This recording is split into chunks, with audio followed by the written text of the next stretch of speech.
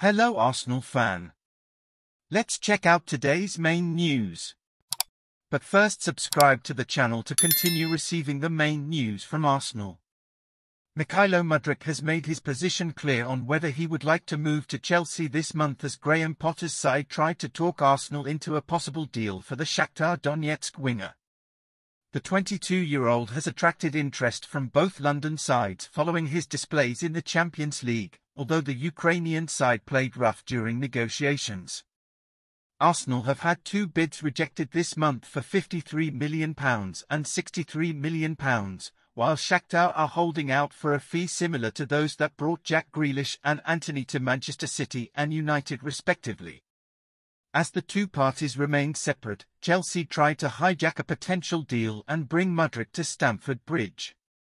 Please leave your like on this video to continue receiving the main news from Arsenal.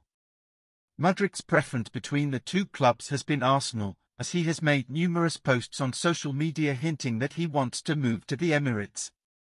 His latest, however, explicitly gave his opinion on a possible Chelsea kidnapping. Speaking to Sport Analytics subscribers, he was asked directly if he would move to Chelsea. So fan. Mudryk, are you a good signing for Arsenal? Put your opinion in the comments is very important for Arsenal. If you write to the channel at any time I'll come back with updates.